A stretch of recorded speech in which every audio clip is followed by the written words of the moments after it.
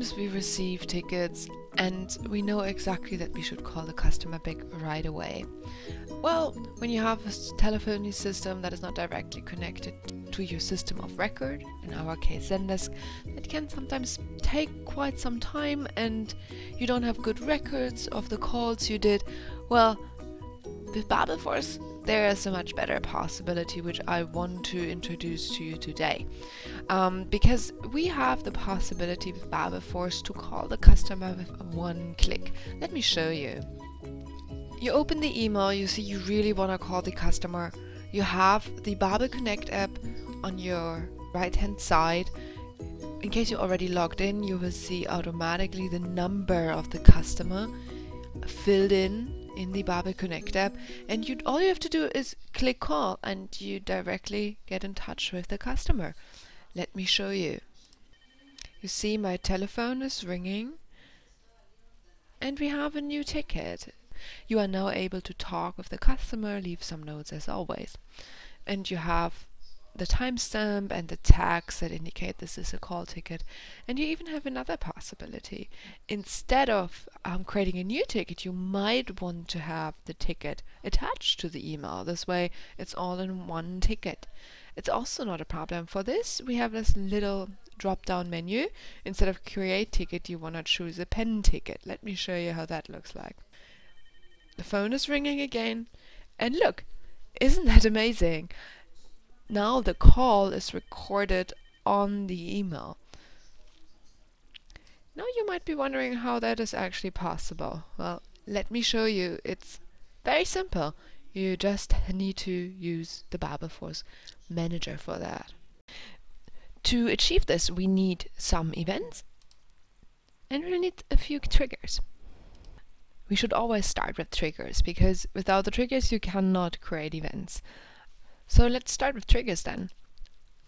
Type outbound and double check. Maybe those triggers already agree. Let me quickly walk you through each and explain what they do. So the first one is the outbound first call leg to end user. This trigger is needed to find the user in Zendesk. So you establish that the call domain is external, you ex establish that the call type is outbound, and finally you're saying that the call source is API. This means that Zendesk created the call in our case. It could also be Freshdesk or any other SOR and that it was not a call that was coming to your agent um, through a queue. You can of course choose any trigger name. We always suggest to use one uh, we have here and the logic type should be match all triggers. In case you do not have the trigger in your system already, it's very easy. You just need to click add trigger. You fill in the name here, you choose the logic type, you click save and then you can directly fill in all the expressions which I just showed to you. But let me show you the other two as well. So we have outbound first call to agent plus ticket mode created which is almost the same as the one we already saw. The one important difference is the Zendesk ticket mode, which is equal to create, because in this case, this trigger will only then be triggered if Zendesk is creating a new ticket. And the same is for the last one. In this case, we have append as condition for this trigger. So it's very easy. After you've created those tickets, you go to events which you find below the triggers. You search for possibly already existing triggers. In this case, you'll search for OB, which we usually use as an abbreviation for outbound. Again, you need three events which um, align with the trigger you just created. And we start with the lookup end user in Zendesk. After you gave a label, you set the priority, which does not need to be 2900, but it should still be a rather high number. The event is called created, and the action is lookup end user because with this specific event we want to make sure the user calling can be identified because in case the customer has already been in contact with you, Zendesk will, and that's the great thing, Zendesk will append the ticket to the existing Zendesk account with the matching number. So you have a perfect record of every contact you ever had with the customer. Then you choose your trigger that you just created. As I said, this is the one for looking up the user in Zendesk, outbound first call to agents. Very importantly, don't forget to make sure you have chosen the correct integration. Perfect, you click Save, Done. If you do not have any of these three events, you of course need to add the trigger.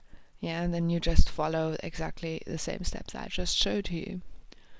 Then let's look at the next one. This is the um, outbound create ticket on start of first call leg to agent.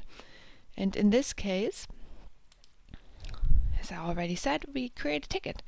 The priority should be a little lower than the one before. The event is the same. It's call created. The um, the action is create ticket. So the event creates a new ticket. And here is the matching trigger. Ticket mode created. Perfect. Again, integration, just check it's correct. And then there are a couple of more things you can do here. Um, for instance, you can enter a comment. The ticket subject, we suggested to be outgoing Babelforce voice call, but of course, again, you can choose any name you want. But let me explain to you this little curly bracket thing here. That's one expression, um, which says call from number. You might be wondering, well, from number, isn't that my number? So the outcalling number? And in this case, not, because it's a little twisted. The customer is actually calling the platform, and that's why it is the from number. You also have the possibility to add a ticket comment. In this case, we have almost the same uh, wording as in the subject, but it's up to you how you name it. Next, you have the ownership make sure the ticket requester is the current end user, the assignee is the current agent. This way the ticket will be pushed. Um, because we're creating a new ticket, we also want to set a few tags. This is important for your reporting. We suggest to set Babelforce so you know which system created the ticket and that it is a call outbound because you want to know what kind of call was made.